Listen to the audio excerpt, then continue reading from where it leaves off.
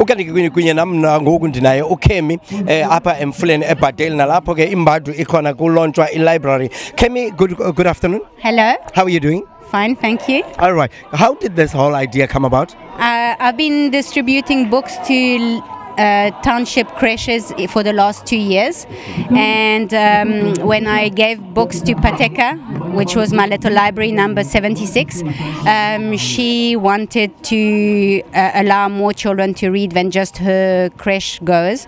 So she lent the books to Brian, and they organized a reading club on the Saturday morning. all right So she was paying it forward by sharing her books, and um, we thought that she needed to have more books than just the 120 that she we were giving her in the beginning. All right, and now today you are, you are launching, officially opening a library here that could accommodate about 40 children. How did that come about? Well, it accommodates 40 children at a time. There are over a thousand books, so we hope that more than 40 children are going to come on the Saturday morning.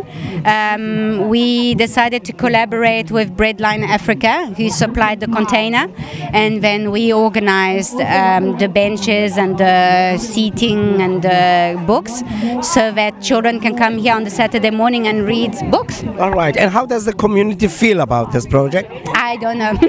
you must ask Brian. Uh, well, uh, from your interactions with them so far? well, I hope they enjoy it. No, I, I think so, yeah. I think I so. so. All right, but um, what would be your plan going forward uh, with initiatives of this nature? Because obviously there are more communities that would be in need of libraries.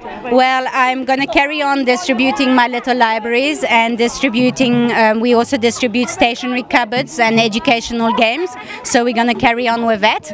And when it comes to another community that needs a big library, then we'll have to make a plan. All right, and how do people get in touch with you? Uh, we have a Facebook page. It's Little Libraries, um, and there is my contact details on there, my email address, and my phone number. All right, thank you very much. Thank you. All right.